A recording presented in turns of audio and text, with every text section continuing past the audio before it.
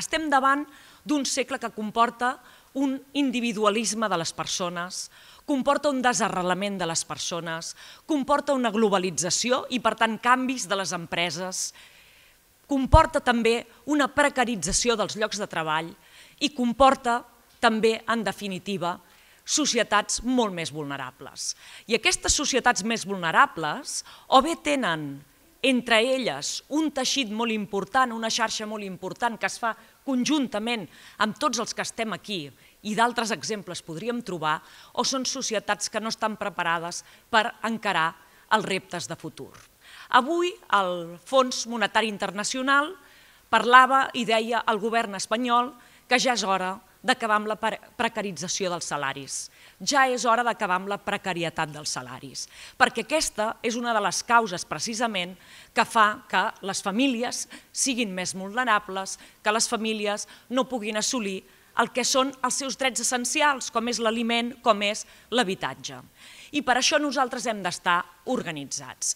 I ho ha dit molt bé el president del Banc d'Aliments. Avui el Banc d'Aliments s'apropa al territori i això és molt important, perquè com a presidenta de la Diputació, pensant en un territori de 311 municipis on no tots tenen la mateixa facilitat de connectivitat i connexions de mobilitat no sempre hi ha la mateixa accessibilitat, no sempre hi ha doncs, els mateixos serveis accessibles. Avui que el Banc d'Aliments vingui al territori, a Manresa, en aquesta centralitat i pugui des d'aquí donar servei a tantes famílies, això és molt important. Vull parlar també de la Fundació Rosa Oriol. És molt important la feina que feu, perquè des de la vinculació amb el territori, el retorn és més gran. I per això és molt important que s'impliquin en projectes com aquest, de constructors de societat, aquelles fundacions que estan arrelades al territori, aquelles que coneixen cada pam exacte d'aquest territori, que poden tenir la radiografia de la realitat, del que està passant en realitat.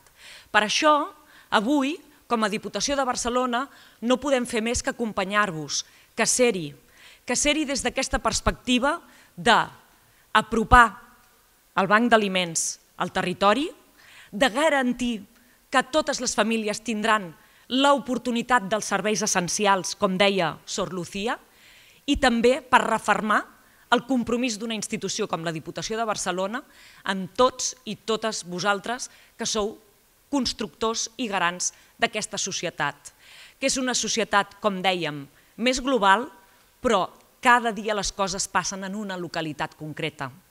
Som globals, però som locals. I precisament perquè som locals, som nosaltres els que tenim la capacitat de poder transformar la nostra realitat més immediata. Per això val la pena fer el pas endavant. Per això val la pena el compromís de l'alcalde. Per això val la pena el compromís de la Fundació Rosa Oriol. Per això val la pena el compromís de Pirelli, per això val la pena el compromís de Banc d'Aliments, per això val la pena el compromís de la Caixa. Avui realment estem fent un pas molt important per acompanyar a totes aquestes famílies en situació de vulnerabilitat i amb un objectiu, amb un objectiu, que aquesta vulnerabilitat es reverteixi, que totes les famílies tinguin oportunitats de futur.